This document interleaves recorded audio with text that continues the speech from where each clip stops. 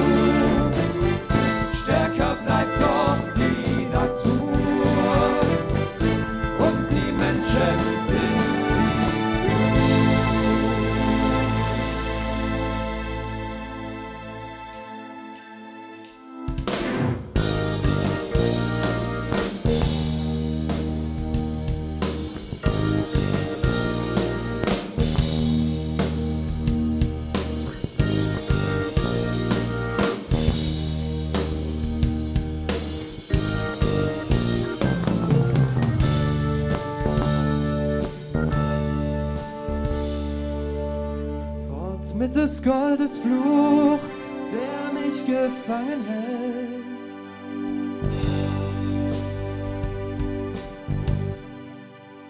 Der wie ein Leichentuch auf mein Denken fällt.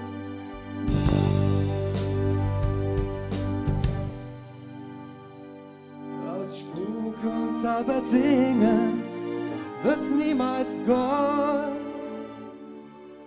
Umsonst ist alles Ringen in diesem Sold, so wird's mir nicht gelingen, was ich gewollt. Wie finde ich aus der Not, wie wann ich die Gefahr, die mir vom König droht, bring ich kein Gold ihm dar.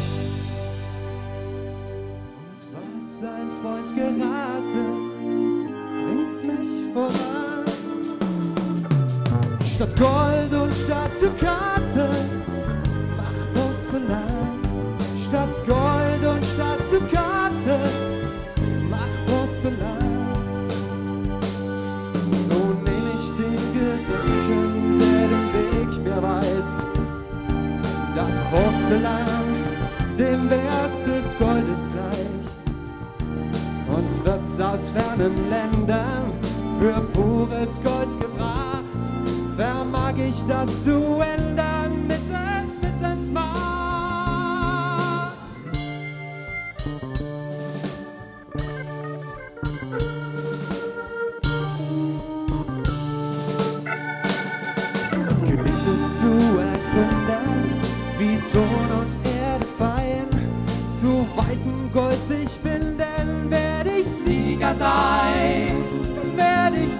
Sieger sein, werde ich klüger sein, werde ich klüger sein. Und kann mich befreien. Und kann mich befreien.